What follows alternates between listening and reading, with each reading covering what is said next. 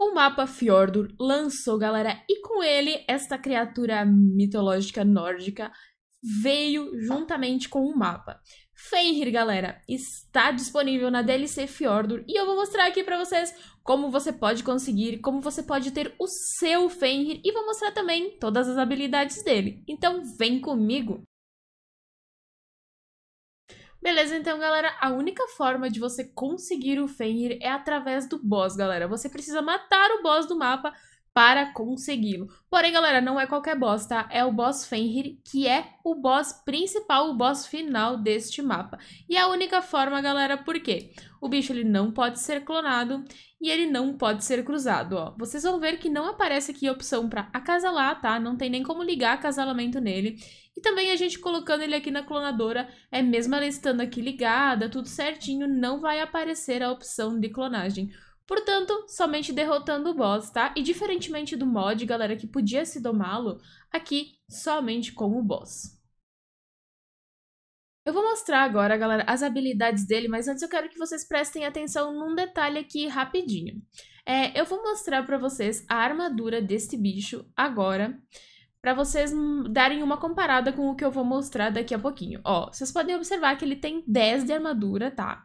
A armadura dele é a proteção 10. Beleza, beleza. Agora vamos ali atacar aquele Carnotauro, que eu vou mostrar para vocês tudo que ele faz aqui, todas as suas habilidades.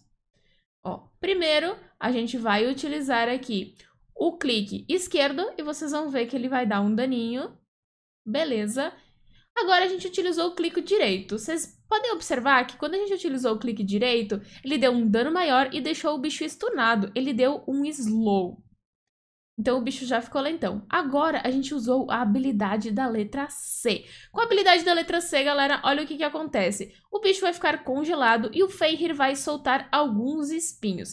Enquanto ele estiver com esses espinhos, a armadura dele vai passar para 80. O que era 10 passou para 80. E além disso, galera, vocês podem perceber que ele vai dar dano de retorno toda vez que o bicho bater nele, ó. Dá pra ver o númerozinho verde subindo ali atrás do amarelinho. Então, basicamente, ele, enquanto ele apanha, ele tá dando dano, além do próprio dano que ele vai dar ao bater. Então, o bicho é bem roubado.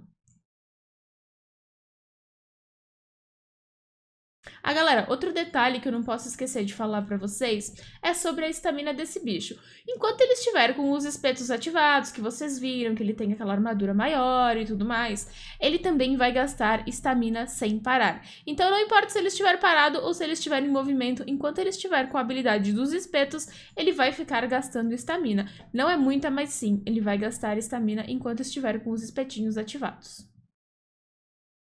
E agora, galera, eu vou estar usando aqui o modo criativo para mostrar para vocês como a gente consegue, então, o Fenrir, tá? Não vou matar o boss é, jogando como deveria, fazendo a gameplay como deveria, mas isso vai acontecer logo, logo no canal. A gente vai mostrar para vocês uma estratégia bem bacana de derrotar esse boss. Mas hoje, só para mostrar como você consegue o Fenrir depois de derrotar o boss, eu vou aqui matá-lo no, no GCM mesmo, beleza? Então, assim que você mata o boss você vai receber em seu inventário uma Cryopod com um Fenrir, tá? Ele vai vir em nível 225, que é o nível de um, de um dinossauro que teria sido, de uma criatura do ar que teria sido domada nível 150 é, na, na efetividade máxima. Um detalhe importante, galera, a gente testou isso umas quatro vezes e todas as vezes que a gente testou, somente eu recebi porque fui eu que matei o boss, fui eu que dei a kill, tá? O Hulk não recebeu o Fenrir em nenhuma das vezes. Então a gente tá acreditando que só venha um Fenrir por boss, tá? O que é uma coisa meio, né? Assim, vai ter que fazer várias e várias vezes. E esse boss não é fácil. A gente já tentou, já testou ele aí e a gente já percebeu que esse boss não é fácil de se fazer. Mas então é isso aí, galera. Estamos aqui com o nosso Fenrir. Como eu falei, não é tranquilo de se, de se pegar, não é uma criatura que você sai do mundo por aí, mas, cara, vale super a pena, é uma criatura bem legal. Então, se curtiu, galera, não esquece de deixar aquele like e se inscrever no canal se ainda não for inscrito e passa no canal do Hulk que tá aqui na descrição, beleza? Tem muito conteúdo sobre Fjordur lá, muito tutorial legal.